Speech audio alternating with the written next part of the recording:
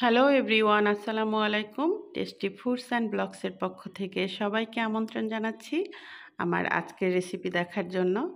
আজকে আমি বাসাতে ডাটা শাক ভাজি করেছি। ভাবলাম সেটাই আপনাদের সাথে শেয়ার করি। আশা করি সবার অনেক ভালো লাগবে। ভালো লাগলে আমার ইউটিউব চ্যানেলটাতে লাইক ফলো দিয়ে রাখবেন সাবস্ক্রাইব করবেন। সাথে সাথে ফেসবুক পেজটাতেও লাইক আর ফলো দিয়ে রাখবেন। তো চলুন চলে যাই রান্নাতে। এখানে আমি তিনাটি শাক বেছে, ধুয়ে, কুটে নিয়েছি। আর চুলাতে একটা কড়াই বসিয়ে দিয়েছি। দিয়ে দিচ্ছি পরিমাণ মতো তেল আর দিয়ে দেব পাঁচ, ছয়টা শুকনো মরিচ ফালি। মরিচটাকে এক মিনিটের মতো ভেজে আমি এক কাপের মতো পেঁয়াজ কুচি দিয়ে দিচ্ছি। দিয়ে দিলাম চিংড়ি মাছ। চিংড়ি মাছটাকে একটু নেড়ে চেড়ে দিয়ে দেব স্বাদ মতো লবণ, রসুন, হলুদের গুঁড়া আর দিয়ে দেব কাঁচামরিচ ফালি। আমি এখানে রসুন বাটা ব্যবহার করেছি। আপনারা চাইলে রসুন কুচিও ব্যবহার করতে পারেন। তো আমি মশলার মধ্যে সামান্য পরিমাণে পানি দিয়ে মশলাটাকে আমি ভালোভাবে কষিয়ে নেব।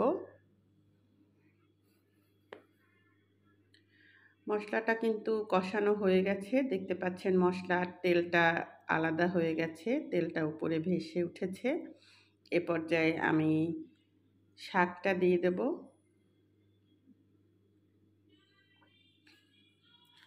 আমি প্রথমে অর্ধেক শাক দিয়ে আমি একটু নেড়ে চেড়ে তারপরে বাকি শাকটা দিয়ে দেবো। আর এই শাকটা চিংড়ি মাছ ছাড়া রান্না করলেও অনেক টেস্ট হয়। কারণ দেখা যায় সব সময় বাসাতে চিংড়ি মাছ থাকে না। তখন চিংড়ি মাছ ছাড়াও আমরা রান্না করতে পারি, তবে চিংড়ি মাছটা দিলে বেশি টেস্ট হয়।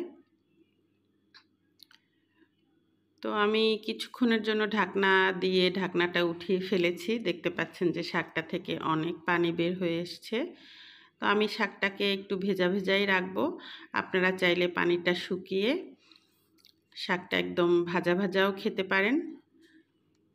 আপনাদের টেস্ট অনুযায়ী আপনারা এটা রান্না করবেন। আমি এভাবে করেছি, তাই এটাই আপনাদের সাথে শেয়ার করেছি। তো শাকটা আমার হয়ে গেছে, আমি একটা বাটিতে শাকটা সার্ভ করব। তো শাকের কালারটা কিন্তু খুবই সুন্দর আছে, কারণ এটা আমি হাই হিটে রান্না করেছি আর বেশিক্ষণ ঢাকনা দেইনি। এই জন্য কালারটা এখনও খুবই সুন্দর আছে। তো আজকের মতো এখানেই বিদায় নিচ্ছি। এতক্ষণ ধরে আমার ভিডিওটা দেখার জন্য সবাইকে অনেক অনেক ধন্যবাদ। সবাই অনেক বেশি ভালো থাকবেন, সুস্থ থাকবেন। আল্লাহ হাফেজ।